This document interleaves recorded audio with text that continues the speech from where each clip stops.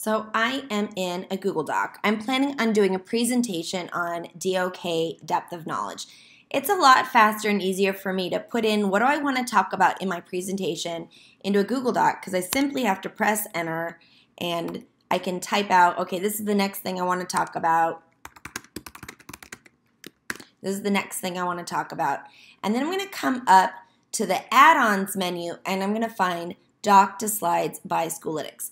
If you don't have Doc to Slides by Schoolytics, just come on down to where it says Get Add-ons and you can type Schoolytics up in the search and it's going to come right up for you to be able to install it. So once you've already installed it, go to the add-ons menu, go to Doc to Slides by Schoolytics and choose Show Sidebar. Show Sidebar. And what you're going to be able to see is it says right here, Doc to Slides, create Google Slides. So I'm going to click on this to create Google Slides. Now it might not open in a new tab. If you have pop-ups blocked, which is what happened to me the first time, you'll notice up here in the Omnibox address bar, it'll say that your pop-up is blocked. It did create it in Google Slides. I would recommend that you unblock the pop-ups. So come in here. So now you'll notice it took everything from my Google Doc and each paragraph becomes its own slide. So it was a lot faster and easier for me to create Google Slides right from the Google Doc. Now, if I go to theme, I can choose from the themes in this Google Doc and make it look a little nicer right away. But if I want to get it really fancy, what I'm going to do is go to a new tab. I'm going to go to slidesmania.com. Paula provides these templates for Google Slides for free. So just a little note, notice that you can give her a coffee if you want to give her a little bit of a tip. And I'm going to choose any one of these. There's a whole bunch of fun designs that she has.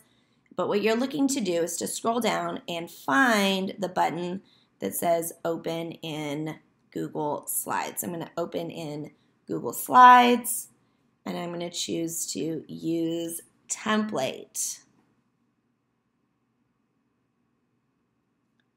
Right? So I've made a copy. I'm the owner of these Google Slides. I got a lot of fun design layouts that I'm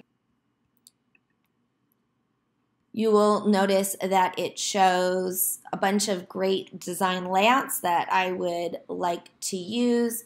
And so I'm going to be using this one. I'm going to copy the link up here at the top, Control C copy, and back in my Google Doc, you'll notice it says link to Google Slides. So I'm going to paste to this Google Slides from SlidesMania that I created because I don't want a blank Google Slides.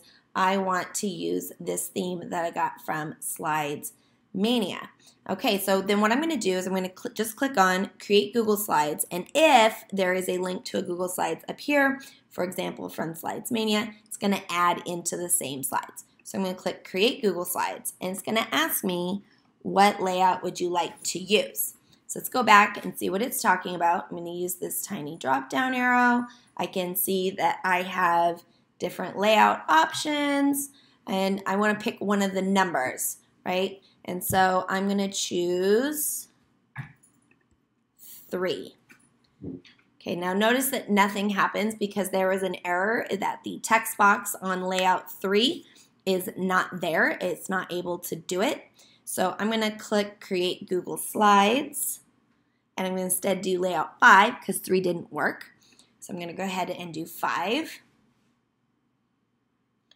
Now what it's going to do is going to add these slides to the bottom. So I'm going to scroll all the way to the bottom where I can see that these are the notes that I had in my Google Doc. So you see it took the text from my Google Doc and added it to a SlidesMania template here in Google Slides. Now, if this wasn't the layout that I wanted, so I'm going to click here on slide 27. I'm like, eh, it's not really the one that I wanted. I'm going to hold down the shift key and click on the last slide so that over here in the sidebar, you can see that I've selected all of the Doc to Slides by Schoolytics slides.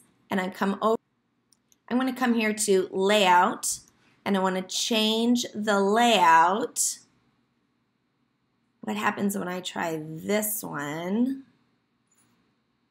And you'll see that all of these slides over here on the left side now have the layout that I wanted. So even though I had chosen layout 5 and I'm like, oh, that's not the one that I wanted because she's got a lot of great layouts up here, I was able to easily just change it by using the layout option up in the tool bar.